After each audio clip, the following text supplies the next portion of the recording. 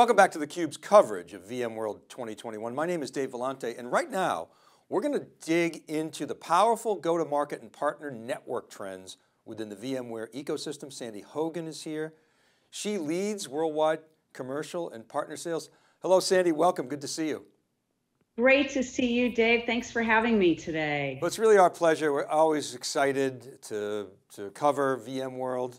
Virtual, of course, this year, second year in a row. Now you joined VMware right after the lockdown. So you've been with the company now about 18 months. Was that difficult starting out, like completely virtual, such a huge scope of responsibility? And how did you handle that with your team and, and the par partner ecosystem? Oh, it's uh, it's actually one of the most common questions uh, actually that I get even on a on a daily basis still. So yes, I started VMware completely virtual. And mind you, I'm based in Chicago, and as you know, our headquarters is uh, based in Palo Alto.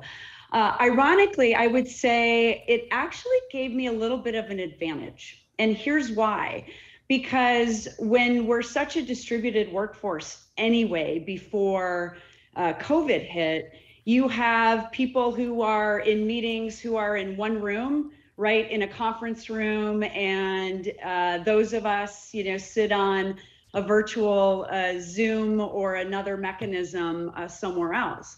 So by joining virtually during the covid era it actually leveled the playing field because it allowed me to meet with everybody via video in their homes. It allowed albeit virtual eye to eye contact. And uh, that actually made some of the onboarding easier. But by no means does it replace at all the personal interaction that's so critical. Well, plus being in the middle part of the country, I think is good. We, well, I'm a East Coast and we're kind of primarily a West Coast firm. So I'm in early.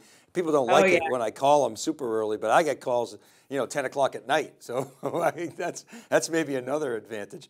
it, it, it, when you think about VMworld 2021, talk, what were, what were your objectives? I'm specifically interested, you know, based on, on what you learned last year, how you thought about 2021, what were your must-have features of the event? Talk about your role in shaping the event this year and, and your specific contributions. Sure. So, you know, I think uh, a, a really big shift as you think about VMworld this year and truly becoming this multi-cloud uh, provider the role of the partner in this new world is more important than ever. And I think in the past, you know, candidly, it's been more about uh, the technology centricity and then figuring out how we attach partners to that. At the core of this is really around delivering customer for life value and the role that partners play throughout that entire life cycle becomes critical in helping our customers jointly become successful in this multi-cloud world. So as the partner chief of VMware, and you're, you're really transformationally leading and driving that partner ecosystem evolution, how do you see the next two to three years? What would you say are your top priorities? Sure. So I think it's important to note, you know, especially with the pandemic, um, but I think it's fair to say not only our transformation, our transformation is also a result of our partners' transformation.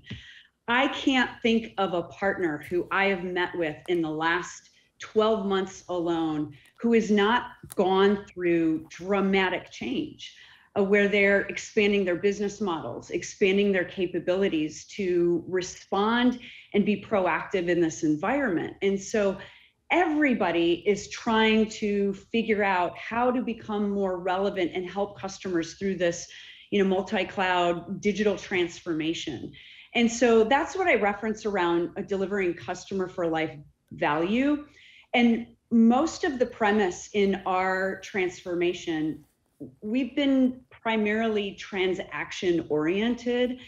And everything about this new world is about moving to an influence, deploy, and consume motion, which is pretty significant. And that's all also about creating a consumerized experience for our partners to bring value wherever they see fit based on where the customer is in their maturity. And in the end, our partners are really enabling our customers to become cloud smart.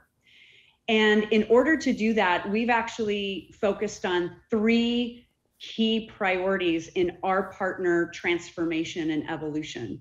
First is really around leading with a partner led services motion for influence, deploy, and consume. We see that more partners are playing key advisory roles in helping customers become cloud smart and determine their roadmap, the timing of their roadmap, and what they will implement and when. And customer success is a critical element of that. And so that means how we help partners create new capabilities, new certifications, and helping them maximize the investments that they're already making. So that's very essential and core to our strategy. Second is embedding VMware into the DNA of our partner solutions in a scaled motion. So this really means how we formally jointly innovate with our partners, enabling our partners to build their solutions, their unique IP on top of our cross cloud services. And that means anything like solution labs, self-serve uh, business uh, innovation, uh, expansion of marketplaces, and enabling partners to have another method to transact and offer their solutions. And all of this in the construct of becoming much more use case based. So, really thinking through, as we all know, our customers don't want uh, bespoke independent technology. They want solutions that are going to solve their business problems. And so we're really adapting and accelerating the way that we help partners build that partner maturity, practice development, and also how we enable that partner to partner acceleration. Because we know in this world today, no one can sell or deliver value alone. And so it's really about how the partners work together and how we enable and accelerate that in a whole new way that we've not done in the past. And so it's really opening up just tremendous opportunities, uh, Dave, that brings unique skill sets and unique scale for our partners.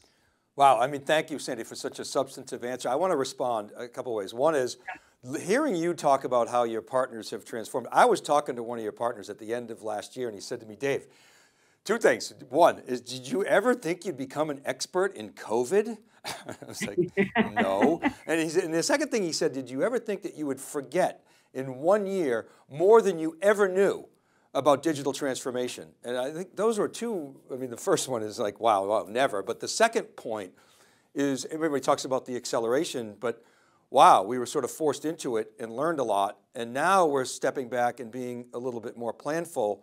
And then yeah. the, the other thing that strikes me is, is when you talked about joint innovation with your partners, because you know, kind of early part of last decade, the VMware ecosystem, it was about, you know, making it kind of work, the plumbing of getting recovery to work or storage APIs. And now you're talking about a layer of innovation that is going to be much deeper business integration. And that's exciting. Yes, it is so exciting.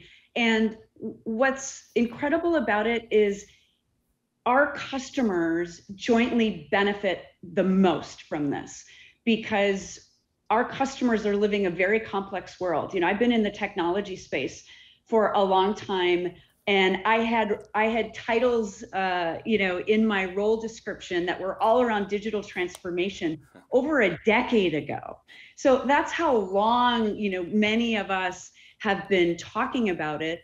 But that complexity has not allowed many of our customers to transform. And so with this evolution of really being helping our customers be cloud smart it is forcing all of us in how we work together to bring those solutions in a much more digestible, uh, consumable way that I think is more meaningful and more exciting than it's ever been, frankly.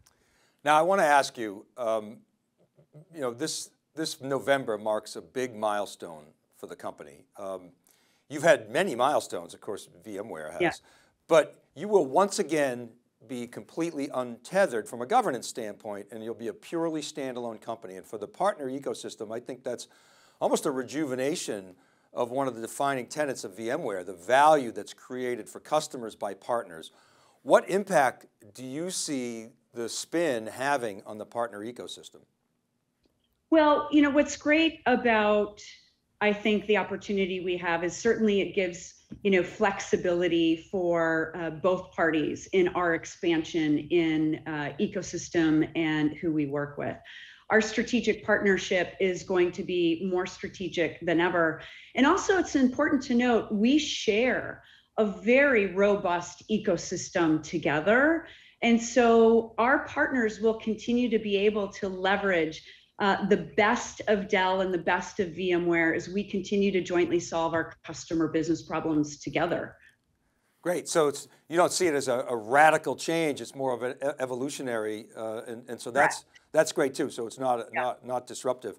Well, Sandy, great to have you on theCUBE, uh, best of luck, and, uh, and look forward to hopefully seeing you face to face in, in the near future. Oh, wouldn't that be nice? I have not met many people face to face, Dave, so that would be fantastic. It was great being on here today. Thank you. You're very welcome, and thank you everybody for watching. Keep it right there. More great coverage from theCUBE at VMworld 2021.